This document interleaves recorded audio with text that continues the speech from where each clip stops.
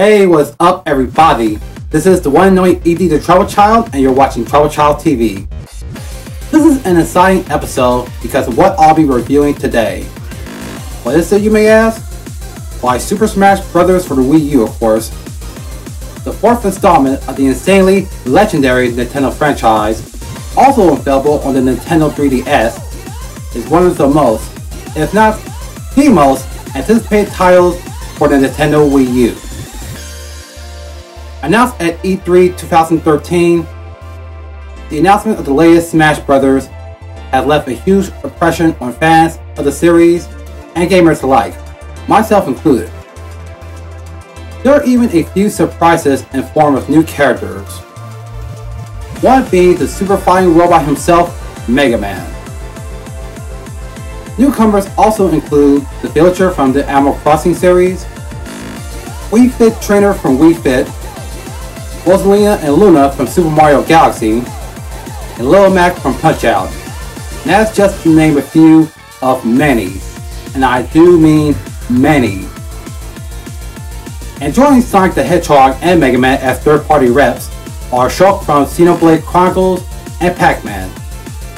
Like there's any doubt that he'll be in Smash Bros. considering, hmm, well, you know. Now first things first, graphics and presentation. The game itself is visually amazing, and compared to its last entry, Super Smash Bros. Brawl for, for the Wii, it's more vibrant and colorful. The stages and character models are surprisingly detailed, and just a marvel to look at. The gameplay is nearly the same as the previous iterations. For those who are new to the series, here's a brief lesson on Smash Bros. 101. You basically beat your opponent until the other player or CPU has enough damage to be knocked off the screen. Like the previous titles, items appears in the battlefield and they can be used to your advantage. One item is a smash, it's a final smash ball, which allows the player to perform a unique final smash attack. Now that we got that out of the way, let's get back to the review. Compared to the last two installments, the speed and overall gameplay is between Melee and Brawl. The pace of this installment is simple, though some hardcore Smash players may disagree. But there is one thing that Brawl players will agree with though, the most notable change in the gameplay. No more tripping. Hallelujah! The roster consists of 51 playable characters, making it the largest Smash Bros. roster to date, which includes 17 new characters. Also, Mewtwo, a Smash Bros. Melee favorite, will be returning as DLC coming next year. However, there is a catch. In order to get and play as Mewtwo for free, you must be a member of Club Nintendo and register both the Wii U and 3DS version of Super Smash Bros. before March 15th of next year. Even with the biggest roster in the franchise's history, sadly, some characters from Melee and Brawl did not make the cut in the latest Smash Bros., which upset a lot of die-hard fans. But hey, if Mewtwo can return as a soon-to-be released DLC character, I say never say never. However, despite the large roster, it has been a center of controversy for some time. While characters like the Wii Fit trainer, Olimar, and Bowser Jr. have alternate character skins, the biggest controversy with the roster is the inclusion of several clone characters. Contrary to most rest that I've heard, I find that some of the clones have alternate attacks and balanced characteristics that separates them from their quote-unquote regular counterparts. Personally, I have no complaints about the roster whatsoever.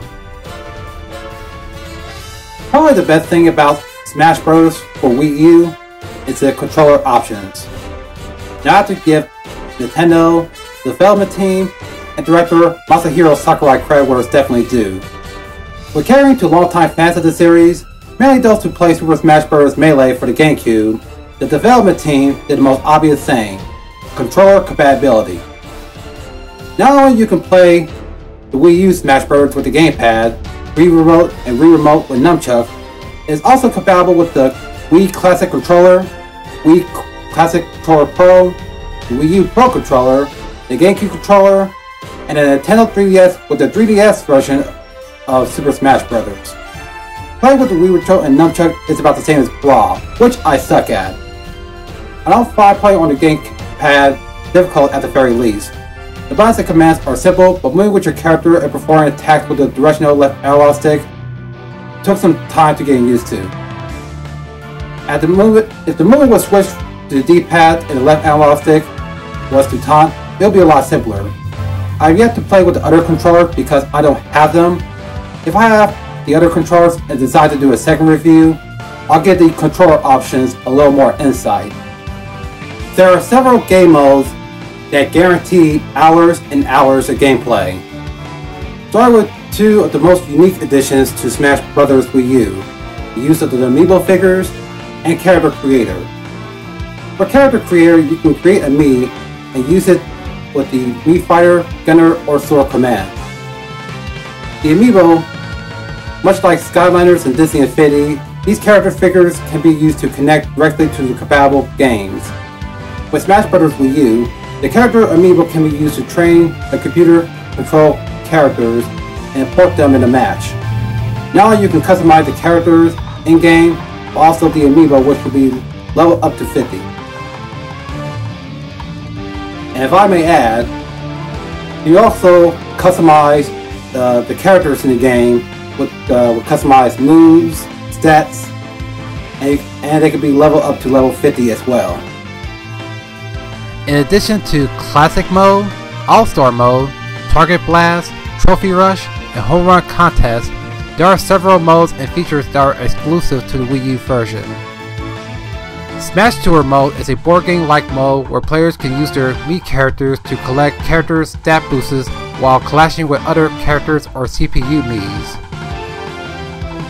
There is also Event Mode, Special Smash where you can set up various rules for a Smash battle, the self-explanatory Stage Builder, and Special Orders where the player must undertake orders from the two final bosses, Master Hand and Crazy Hand, to earn rewards along the way.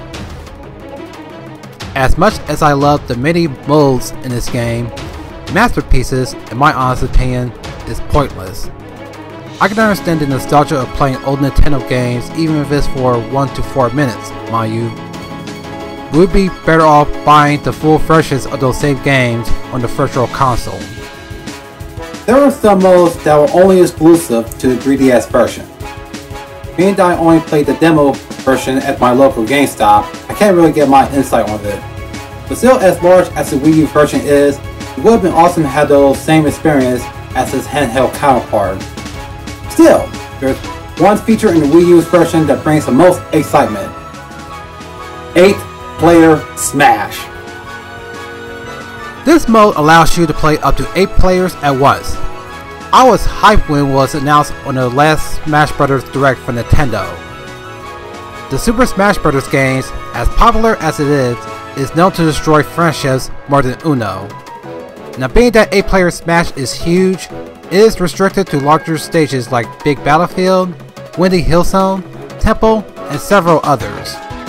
The only major downside is that 8-player Smash cannot be played online. While on the subject of online mode, it has good netcode. Though after a couple of online matches with a friend, I did experience some lag after the first three battles. Being that I have a wireless DSL connection, lag wasn't inevitable but not frequent.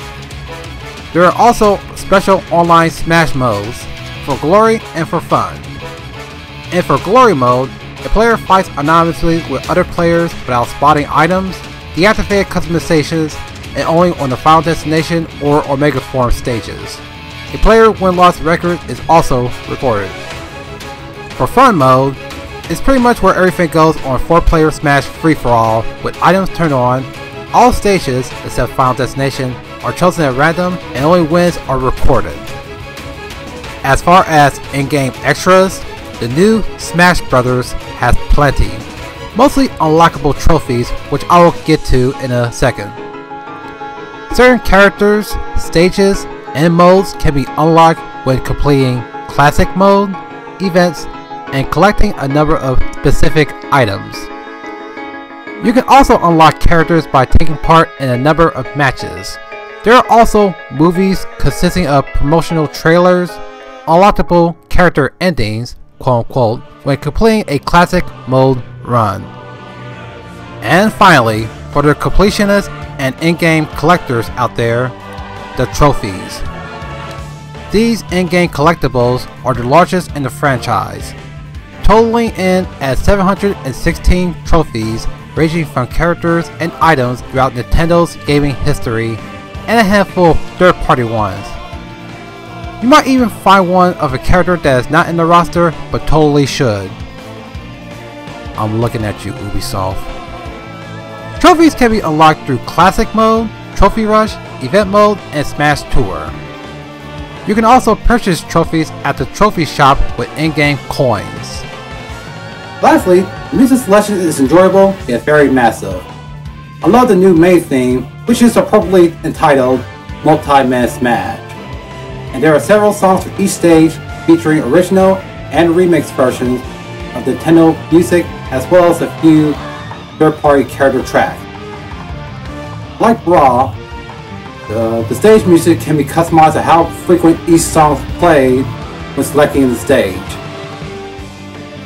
The sound effects are a bit more cartoonish this time around, but, but it also complements the bright and colorful presentation. Though I haven't played Brawl in years, I can tell that some of the sound effects are slightly different, in which I don't mind. Super Smash Bros. for the Wii U is an awesome installment to an already awesome franchise. With many characters, modes, and customizations to choose from, with the insane replay value, you'll be playing this for hours, if not days. In addition to controller options, 8-player Smash, in-game collectibles, and Mewtwo join the battle as a future DLC character, coming next year, mind you. The new Super Smash Bros. is a near-perfect fighting slash party game, and I do mean near perfect. The gamepad controller is not recommended for beginners. Masterpiece mode is, uh, is an unnecessary mode, and unless you have the fastest internet connection possible, you will experience some lag occasionally when playing online. Despite the minor flaws, Super Smash Bros. for the Wii U is worth paying at full price. If you have a Wii U and don't have Super Smash Bros., shame on you. Got 60 bucks to spare? Buy it, play it, and love it. Believe me, it's worth getting a Wii U, period. And that's about does it for this episode. I am so sorry this episode took so long to make. Life outside of YouTube has been hectic, but hey, that's life. I hope y'all enjoyed the first half of Season 3 of TribalChild TV. After the month of Tekken, I'll be taking a brief hiatus making videos. And TribalChild TV will be back sometime in the spring of 2015. Until then, thanks for watching. This is the one and only AD the TribalChild. Keep it locked.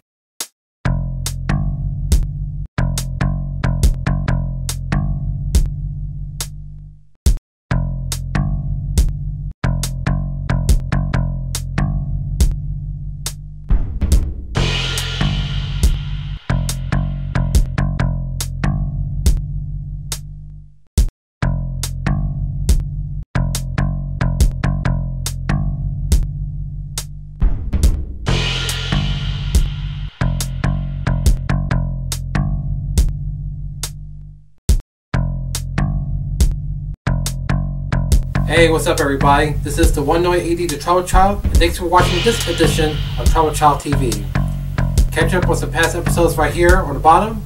If you have questions about this episode, then check out the Ask the TribalChild annotation right here or this corner of the screen and submit your questions or the comments there, and I will answer them. Be sure you rate and comment this video, and don't forget to subscribe to be the first to see the latest episode of TribalChild TV. Till next time, keep it locked.